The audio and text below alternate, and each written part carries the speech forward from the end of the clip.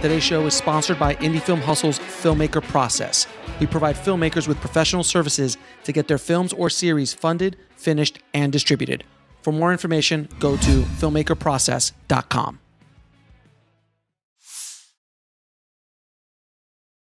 To ask you, Abraham Vampire Killer, how did this come into play? How does this even, like, when I heard it, I was like, this is ridiculous. And then I go, oh, he's oh Tim Burton's. Oh well, well then let's take a look. It's a it's a it's a set Seth Grahame Smith. He wrote this book, mm-hmm. and uh, and I was I was probably had a reputation of like a crazy person who can do crazy stuff, and they they asked me to to to direct this, mm-hmm. uh, and uh, it was fun, and I unfortunately the Lincoln is too important for for American people, mm. and I and it was very difficult for me to find the right tone uh, tone because, and I was I was jumping from seriousness to yeah.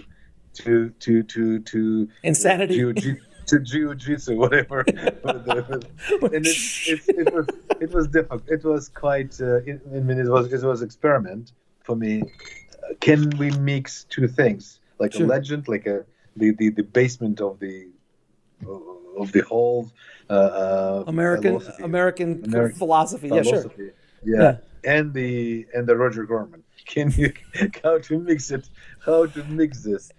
And we tried, and, and we tried. It's just, no, but it's it's still a good movie. It's still a fun movie. It still yeah. did well over. I think it did well overall, right? It did financially well yeah, overall. Yeah, some. Yeah, did some. Yeah, it did some business, no question. But it's like you're essentially for Americans, Abraham Lincoln is like Jesus.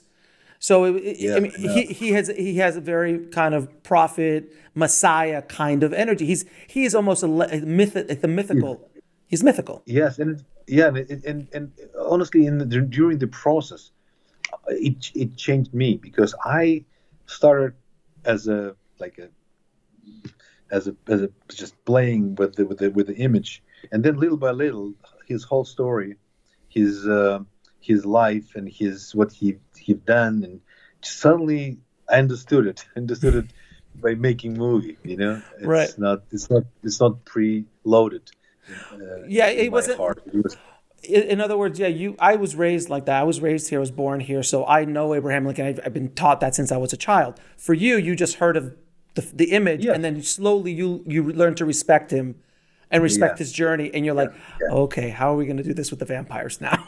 he had he had very difficult choices in his life. Yo. And he had like t- took responsibility and uh, and and it's in pay, in paid for, for for his choices. To watch the rest of this interview, head over to indiefilmhustle.com.